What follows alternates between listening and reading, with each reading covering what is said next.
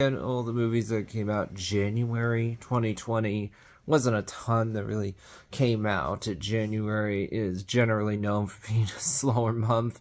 First of all, you had The Grudge. That was a supernatural horror film written and directed by Nicholas Pesce, P-E-S-C-E. It's a reboot of a film that came out in 2004, also called The Grudge that actually is in and of itself a remake of a Japanese horror film called Ju-On the Grudge that came out back in 2002.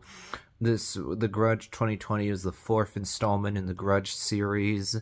It came out January 3rd. And then you had Underwater that was a come on load. That was a sci-fi action horror film directed by William Ub Eubank. It came out January 10th. And then you had Like a Boss. That is a comedy film directed by Miguel Arteta. That came out January 10th. And then you had Three Christ, also known as State of Mind, drama film directed, co-produced, and co-written by John Anvent Evnet based on a nonfiction book called The Three Christ of Yip Yip Silanti. I may not be pronouncing that right. This film came out January 10th. And then you had Inherit the Viper from Lionsgate, crime drama directed by Anthony Jerjen in his directorial debut came out January 10th. It was released in a limited amount of theaters and then premiered on VOD. And then you had The Sonata. That was a mystery thriller film directed by Andrew Desmond. That came out January 10th. And then you had The Murder of Nicole Brown Simpson. That was a crime thriller film directed by Daniel Farrands that's loosely based on the murder of Nicole Brown Simpson. This movie came out January 10th. And then you had Angels Fallen, sci-fi horror film directed by Ali Zamani that came out January 14th. And then you had, let's go back, Bad Boys for Life. That's a buddy cop action comedy directed by Adil and Bilal, sequel to The Bad Boys 2 from 2003, the third installment in the Bad Boys franchise. This one came out January 17th.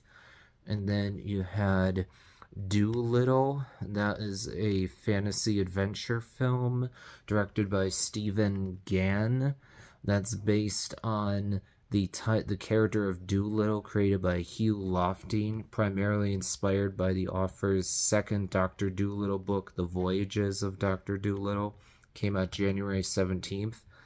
And then you had a fall, uh, you had The Gentlemen action comedy film written, directed, and produced by Guy Ritchie that came out January 24th.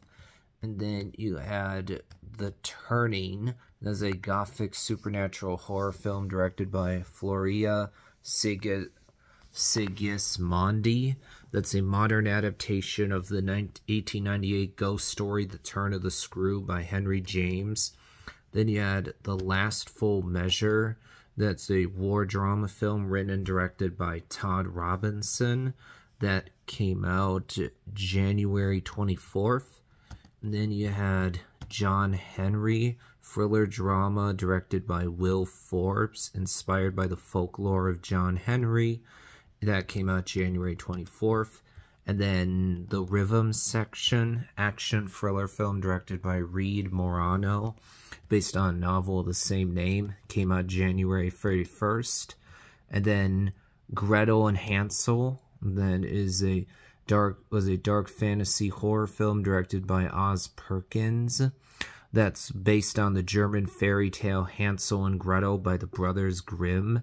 That came out January 31st. Then you had The Assistant. That was a drama film written, directed, produced, and edited by Kitty Green. that came out January 31st.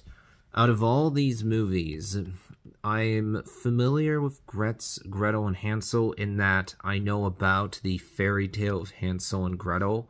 Aside from that, uh, I'm familiar with Dolittle because I've seen the Dr. Dolittle movies with Eddie Murphy. I enjoy those.